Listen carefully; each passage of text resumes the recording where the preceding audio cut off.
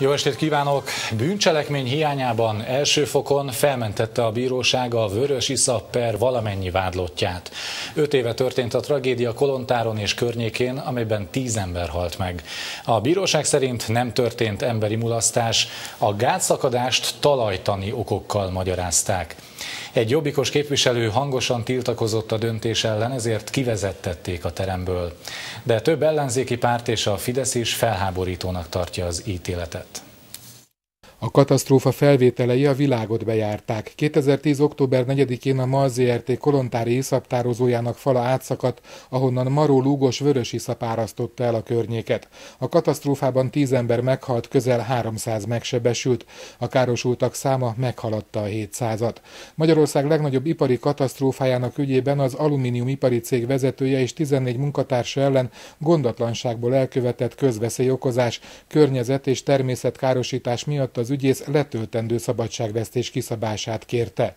Még a katasztrófa 5. évfordulója alkalmából rendezett budapesti konferencián is szóba került az igazságszolgáltatás hiánya.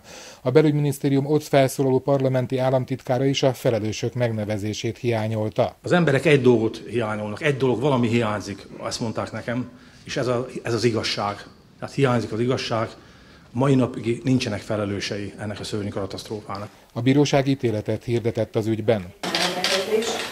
Hulladékgazdálkodás rendjének megsértése büntetnének. BTK 248. szakasz egybekezdés kisdékmódja, kettő bekezdése, vágya ahol felmenti.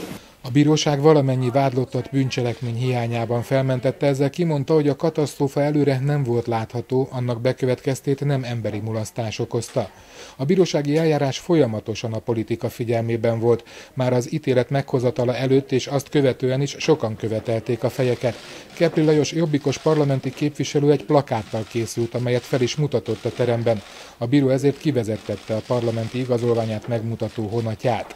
Felháborító az ítélet tiltakozunk el. Az igazságot képviseljük.